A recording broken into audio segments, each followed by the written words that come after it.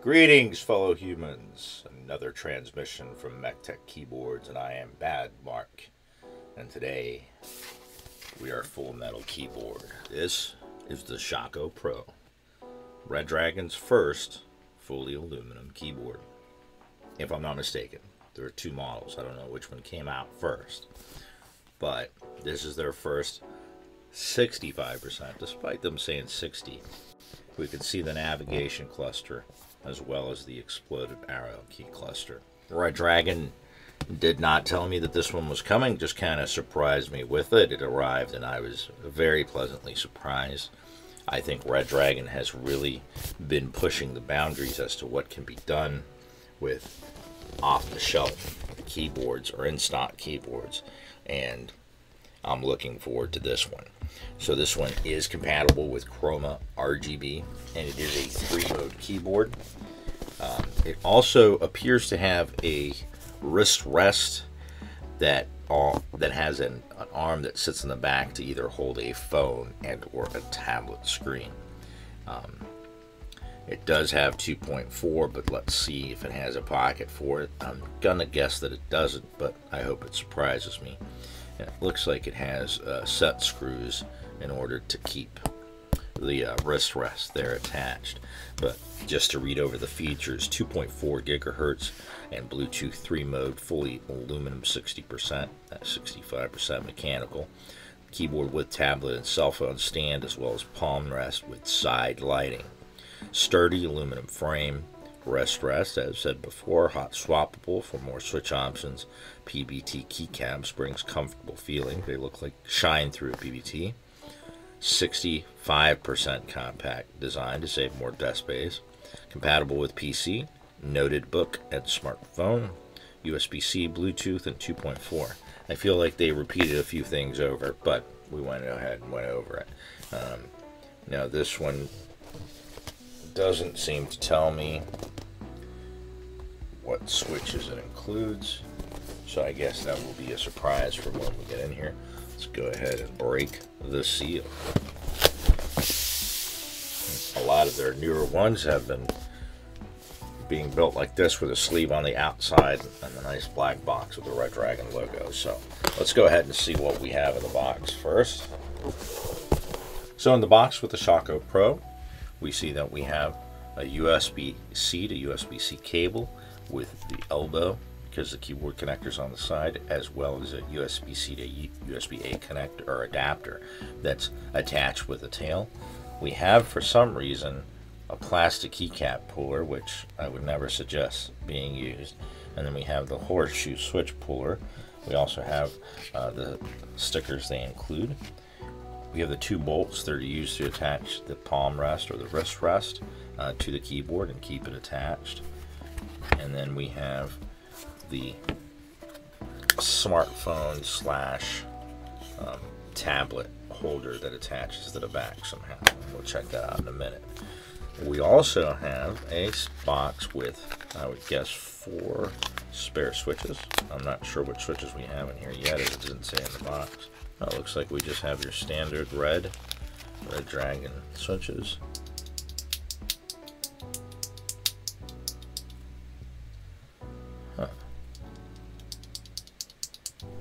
Now, while these look like the standard Redragon switches, I'm actually used to them having a black bottom and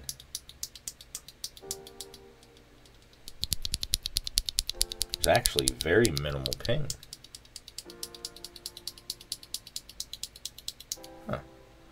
That's got me curious. So it looks like we have a fairly complete um, selection of items here. We're going to go ahead and just keep these parts out because I'm sure that we'll want to attach them to the keyboard.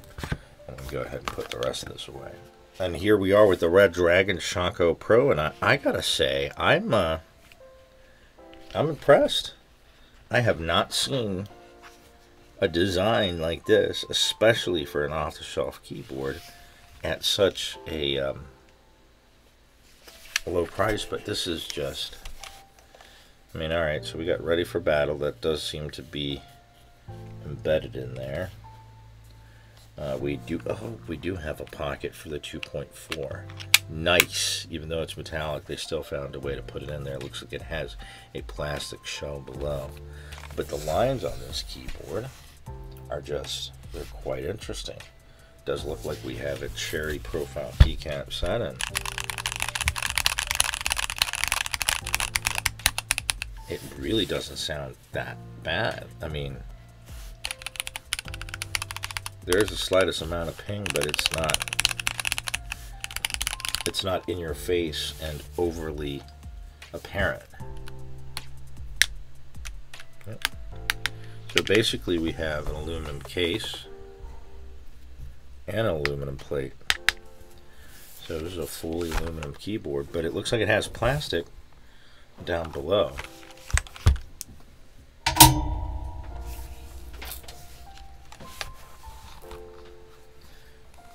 go ahead and turn it on and see what we got. The RGB are pretty decent, uh, brighter than some of the other ones I've been taking a look at. And I gotta say, I like that floating keycap design. Now, obviously, this is not a gasket mount. This is a tray mount, uh, or it might be a top mount, but I'm pretty pretty sure it's just a integrated tray mount. But wow, this is um this is very interesting. It also has side RGB. I don't know what I was expecting, but I guess I, I with Redragon, I always found that I do best when I set my expectations not low, but just don't overly build them up. But this is just nice. So we have a groove here that I can just use. It appears to just yeah, basically the wrist rest just slides in and then you use these to kind of just lock the studs that are in there in place.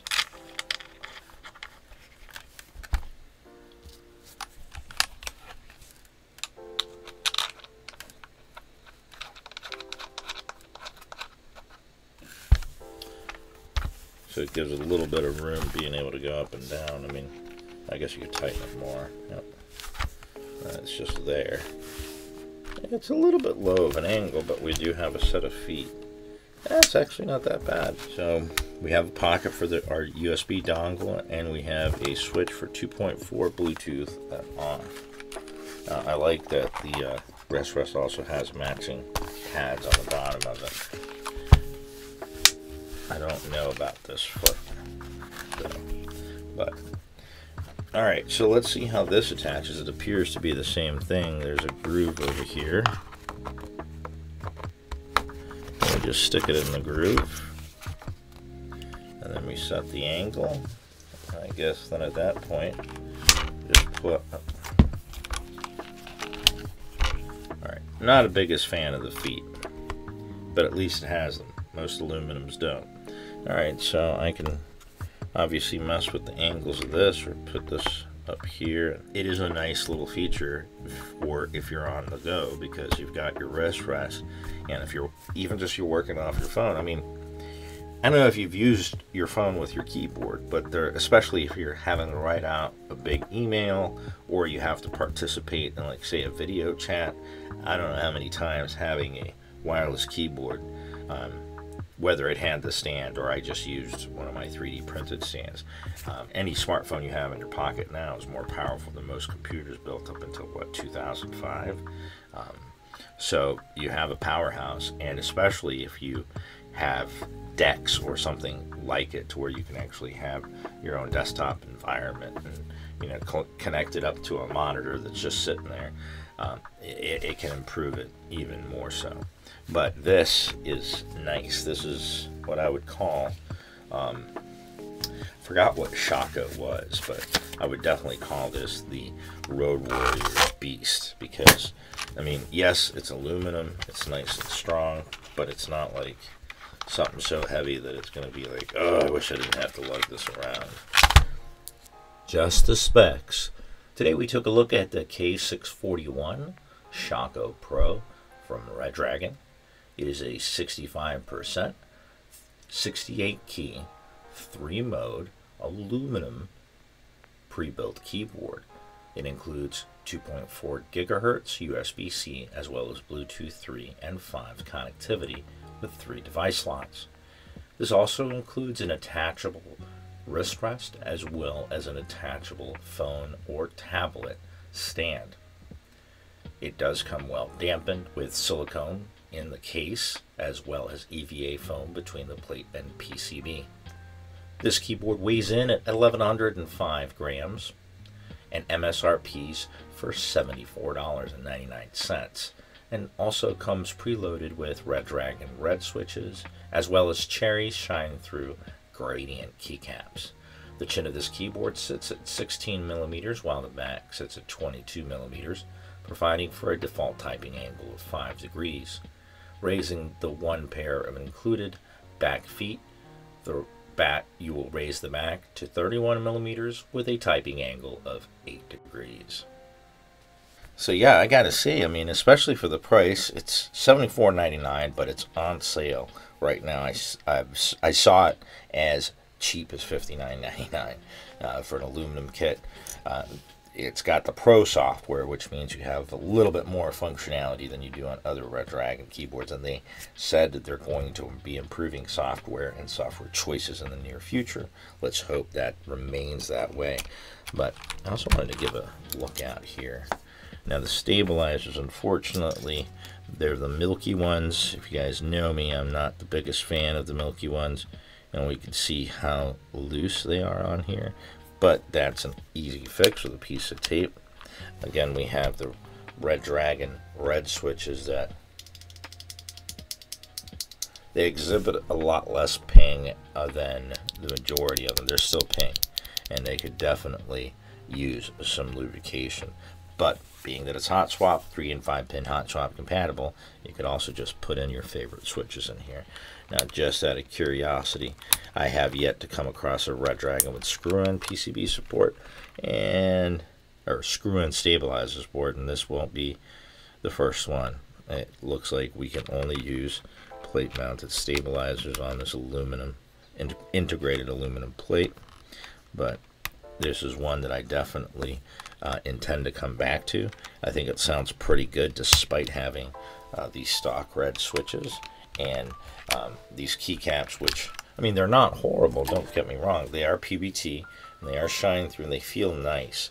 Um, and the width on them is 1.3 millimeters. Uh, so they're not the thinnest, but they could be, um, well, if I had it my way, they'd be at least 1.5 millimeters. But they do look nice. They are cherry.